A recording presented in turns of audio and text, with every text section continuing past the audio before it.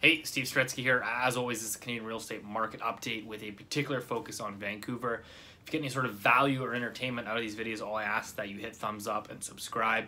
Appreciate the support. As always, uh, if you have any questions, comments, put those below and we'll banter back and forth. A um, couple things before we get into it. This is probably going to be a little bit of a longer video. Uh, some numbers coming out of the Vancouver real estate market for the month of June, as well as the Toronto. So I kind of want to touch on those markets a little bit. Obviously, we're, again, we're focusing on Vancouver here, but um, another thing before we get into it, if you want uh, to release the June edition of the Saretsky Report, which is basically a detailed analysis for the entire month of June, um, all in one simple, easy to read PDF. So I'll put a link to that where you can go and download it. Uh, as well, if you want to do me a huge favor, uh, I'm working on building up some Google reviews. Uh, just kind of helps with SEO and uh, just trying to build up that presence sort of in the Google sphere and kind of ignoring it. Uh, but again, I'm going to put a link to that as well. If you can go over there and shoot me a positive review, uh, I would really appreciate that. Uh, try not to ask for too much, but uh, that would be a huge help. Um, but anyways, yeah, breaking it into it, uh, into the market, as always, um, just to put put things into context, because I always get people saying, you know, some people will shoot me a message and say, oh, you know, you're too bearish. Some people say, oh, you know, you need to be more bearish and, and tell people not to buy. And you have to understand it's a very fine line. You're still running a business and a profession here.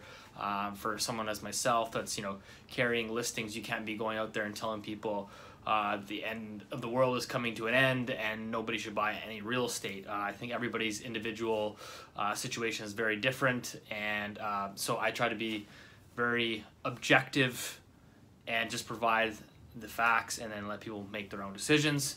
Uh, so hopefully you understand where that's coming from. Um, looking at the, starting with the Vancouver detached housing market, I've mentioned this has been the trend and you're always sort of looking at sales and sales volumes.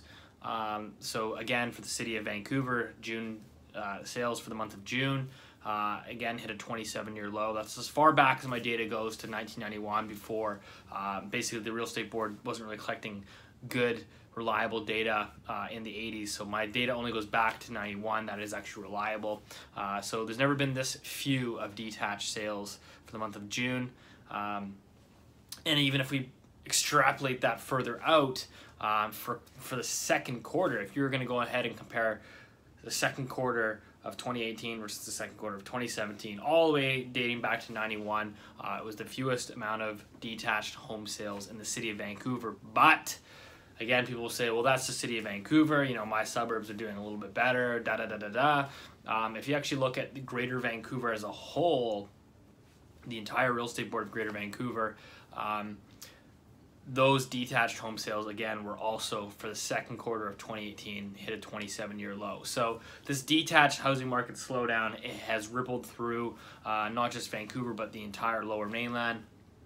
Um, prices again are subjective. Everybody has their own opinion on that. I'm not really overly focused or going to argue uh, what's happening with prices but i think certainly you can imagine that uh, when home sales fall to near 30 year lows and inventory jumps roughly 30% uh, and is now at its highest pace since 2012. You can kind of put the two and two together. There's going to be downwards pressure on prices, and I, I see that trend continuing. You have to remember that this was a this is supposed to be the busy time of the market. It's, you know, this is the spring selling season. So now we're entering into the back half uh, of the selling season where you have in the fall you have a speculation tax coming here in BC. Uh, I would expect the Bank of Canada to hike interest rates next week. Um, so you're going to have that coming in as well, and, and that mortgage stress test still ripping its way through the system. So I'm not really sure how that detached market is suddenly just going to shift course this late in the credit cycle. Um, so I think there's more downwards pressure to come. I guess one silver lining for that market uh, was that new listings for the detached space actually fell in June to a 13 year low for the month of June. So uh, I think what's happening is basically sellers are sort of holding off. Uh, they're taking their house off the market. They can't sell. They're you know relisting it, uh, trying to get it sold. Some are saying, ah, I'll wait till next year. Maybe the market will will rebound, pick back up. Um, so you're seeing the new listings come off. And uh, we'll have to keep an eye on that. But again, despite new listings coming down to a 13 year low, inventory still increased uh, significantly, and that is really due to uh, just a lack of demand. There's simply no sales. So, uh, shifting courses into the condo market again, that's been the resilient uh, space of the of the market. Um, condo sales for the month of June uh, in the city of Vancouver dropped down to a five-year low. Um, they're certainly weakening across Greater Vancouver and into the Fraser Valley. Um, that being said, if you look at uh, Vancouver condo prices, what are they doing today? Uh, you can clearly see that there's been some price deceleration. Uh, this is the average price per square foot. And uh, that is now, it's showing a 5% increase on a year over year basis. Um, you have to remember, put that into context. Uh, you know, where's that trend line going? Um, over the last couple years, we're used to you know 30% year over year price growth. To see it go from basically 30% down to 5% kind of shows me uh, where this trend is heading. And obviously, a five year low in sales, it allowed inventory to jump up uh, by 30% year over year. And then you have new, uh, you have a record number of housing units under construction. Uh, the, the most recent data shows that units under construction is by far, by far a new record. Uh, it's actually 3.6 times uh, greater, the standard deviation above the long-term average for a number of units being built. So you have sales in the condo space uh, declining. The demand is simply not as great as it was. Um, and you have new uh, inventory starting to build along with that record number of new supply coming. And, you know, it's interesting just to see this market shift. I think really in April we saw a noticeable uh, shift in the condo market, even in the Fraser Valley. I've been watching that closely, speaking with some of the realtor contacts out there. Um, I, think one of the cases, just looking at that space, is just to see how it just went like that uh, over the last couple months. Langley condos, um, you know, increased 40% year over year just a couple months ago. Um, inventory in June shot up, I believe it was 112% year over year. Um, now it's still below sort of historical norms, but you had inventory jump 112% year over year in the condo space. Uh, I think sales came off about 30%. Um, and and you're just seeing that. I mean, you again, just speaking with realtors there that are experts in that area, um, telling me that condo prices are actually coming off, um, you know, two, three, four percent from their peak prices about three or four months ago. Um, it's that that's just a very quick shift. I believe the sales to active ratio is down close to around twenty percent now, which is pretty much a balanced market. Uh, in that Langley area. I even saw someone sent me this today just asking, you know, hey, what's the deal with this? Uh, it was a two bedroom condo in Langley. It was basically at the entry level point, and they were offering a $10,000 uh, cash back to the buyer for either to help you with your mortgage payments or to help you renovate the place.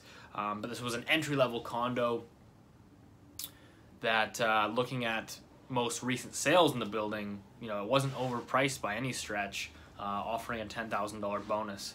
Again, that's just one example, but you're starting to see uh, definitely a change, a shift in the market where it would have been unfathomable think that someone was going to get a 10k cash back uh, on a condo in, in, in the suburbs uh, even four months ago, six months ago.